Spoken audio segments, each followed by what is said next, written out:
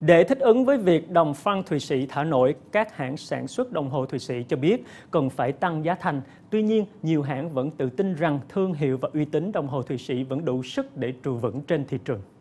Triển lãm ngành công nghiệp sản xuất đồng hồ Thụy Sĩ đang diễn ra ở Geneva. Cách đây 4 ngày, Ngân hàng Trung ương Thụy Sĩ USB đã tuyên bố bỏ trần tỷ giá để giá franc Thụy Sĩ lên cao, đồng euro giảm đi, ảnh hưởng đến các nhà xuất khẩu.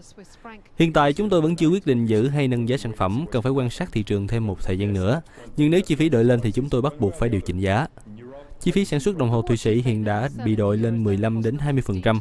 Nhiều hãng sản xuất cho rằng sức hút của đồng hồ Thụy Sĩ vẫn rất cao, cho dù họ có quyết định tăng giá hay không. Thụy Sĩ không thể tiếp tục bị áp lực giảm giá do neo với đồng euro. Đó là việc chúng ta phải làm. Tôi tin là ngành sản xuất đồng hồ sẽ không ảnh hưởng nhiều lắm. Đó là ý kiến của CEO hãng đồng hồ cao cấp Parmigiani Valeria. Còn các hãng sản xuất đồng hồ quy mô vừa khác thì có trụ được hay không? Điều đó có thể không nói chắc được.